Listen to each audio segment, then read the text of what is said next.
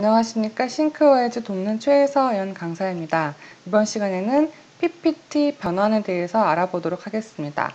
맵을 다 만든 후에 PPT로 변환을 한다는 건데요. 평상시에 우리가 강의를 한다, 발표를 한다. 그럼 여러분 어떻게 하시냐 먼저 PPT 여신 다음에 파워포인트 여신 다음에 거기서 제목 치고 내용 치고 이렇게 하잖아요. 그래서 아 PPT 몇 장이야? 이렇게 하시는데요.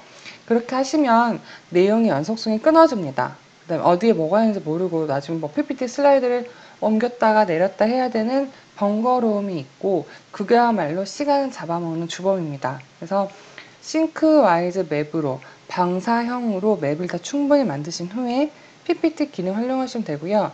이 기능은 강의하시는 분들이 알려드리면 정말 좋아하십니다. 이거 하나만 알고 가도 어, 이 강의에 수강, 수강이 몇 배 이상 가치가 있다고 알, 말씀하시거든요. 아, 사설이 기다렸습니다. 알려드리도록 하겠습니다. 샘플 맵을 먼저 열고요. 샘플 맵 중 제가 2018년 3분기 기획 또는 제 목표를 적어 놓은 맵을 가지고 만들어 보도록 하겠습니다. 맵을 PPT로 변환하는 것은 파일, 다른 이름 저장, 마이크로소프트 오피스, 파워포인트, 옵션을 가가지고 노트나 객체나 하이퍼링크가 있다 그러면 다 눌러 주시고요. 확인 눌러 보겠습니다. 그러면 짠 어떻습니까?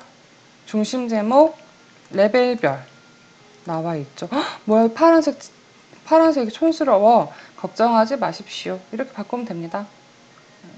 마음대로 바꿀 수 있어요. 여기서 편집하는 거는 아주 쉽잖아요.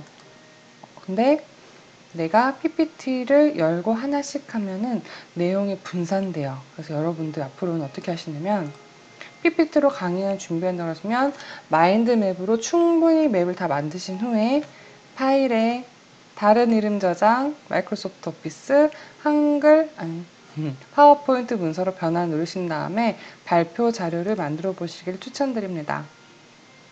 지금까지 씽크와이즈 돕는 최서연 강사였습니다.